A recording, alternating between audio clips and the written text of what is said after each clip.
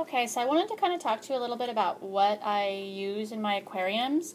I've been doing this about a year, so I'm still, I consider myself still really in the learning process and sort of tried a lot of things trying to figure this out and did a lot of research. And um, basically, when I start a new tank, this is something kind of I picked up recently and I've been using it in my in my beta tanks. It's Nutrifin um, Cycle. You're supposed to be able to put it in there and it starts the cycle right away. I like to do that, you know, for water changes. Um, it's not the only thing that I've tried, but I've kind of been, it's like $3.99 for this little bottle, but um, I always like to kind of figure out what I need. This is a quarter teaspoon per water change for a per gallon. I try to do everything per gallon because it's easier for me to kind of learn, you know, what to do. Uh, this is my favorite right here as far as a water conditioner. It removes um, chlorine, chloramine, ammonia, um, detoxifies nitrate and nitrites, uh, promotes a slime coat. You used to be able to just leave your water out overnight and the chlorine would evaporate, but they added chloramine into the water now, so that no longer is good enough. So uh, this is your water conditioner. You use it every single water change. Every time you add water to your aquarium, you need to use some sort of a dechlorinator. And um, this is my favorite. It's a little bit more expensive sometimes. I think this little bottle was like $5.99. But seriously, it's two drops per gallon. Two drops per gallon is ridiculous. I mean, that is how concentrated this is. It's fantastic stuff. I really, I like this. And I actually just recently found it in this little pack in here. And this pack came with the Prime, much larger bottle actually than what I had, and Stability. And this this is like the the cycle stuff here. It's it's like that stability, and I really like Seachem, so I've tried this, and it helps avoid new tank syndrome, and I like stability a lot.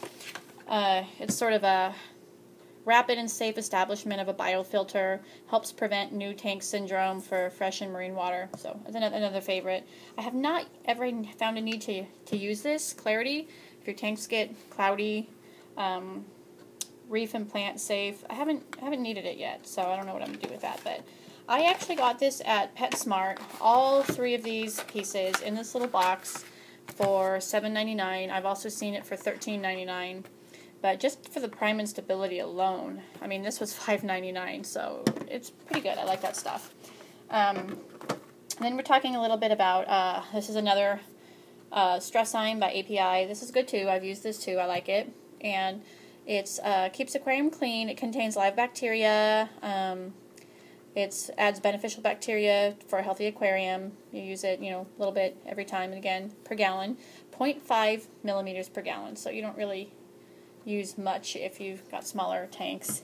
And I just went to the pharmacy and asked them for a little millimeter um, little syringe, and they give it to you for free if you ask them. And I mean, literally, like that right there is 0.5 millimeters. So it's not really very much. So it's pretty good. I also use, you know, use these when I'm treating my tanks. Melafix right here and Pimafix Basically, these are all natural, which I like. Um, it's extracted from tea trees. Actually, believe it or not, smells really good. Um, Melafix is for bacterial infections, for damaged fins, ulcers, open wounds.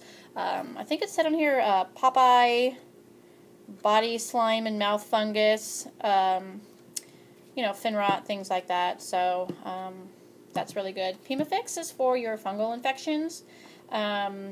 I've only actually had to use this once. Extracted from West Indian bay leaves. Again, smells really good. Um, this is more of a fungus. This is more of a, of a bacterial. Um, really good products. Actually, they make another um, another form of this. It's called Betafix, and actually, it's just Melafix, but it's exact same thing. But um, yeah, so those are pretty good. I try to always have these on hand in my little medicine cabinet, so to speak. Um, I also have aquarium salt which I've been researching about um, for promoting healthy fish. And also, if you have a problem in your tank, you know, putting this in. I've really had a lot of controversial information. Um, use it, don't use it. It's good for betas, It's bad for betas, It's good for guppies. It's bad for guppies. It's, I don't know. I'm, I guess I just, I'm not really sure about this yet. So, I don't know. Uh, here's another new product I've just recently gotten to try. It's Aquarisol.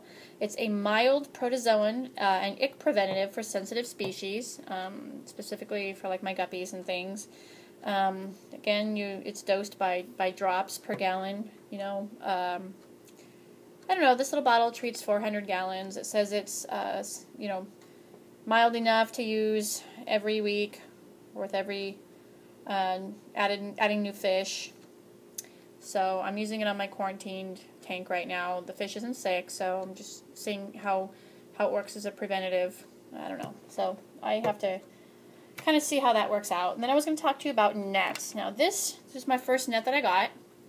Um, this actually damaged all my betas.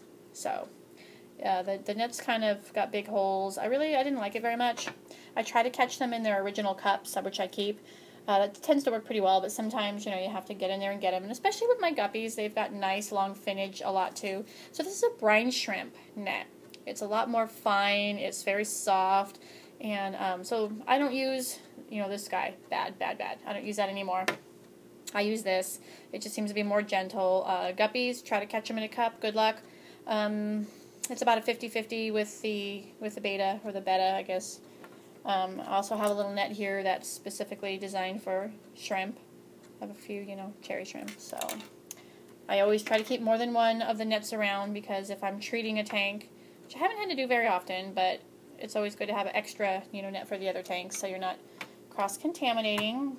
And I think only the other, you know, tools I really have are my little tweezers when I'm feeding my African dwarf frog you know, I'll use this for, you know, feeding him and this little thing here, which you can kind of helps out with the, beta tank sort of get things up. But um, I'll talk about cleaning and stuff on, a, on another video. But basically, um, that's pretty much the arsenal I have as far as, as care. Um, oh, there goes my cat. Gonna say hello. Anyway, thank you. Bye.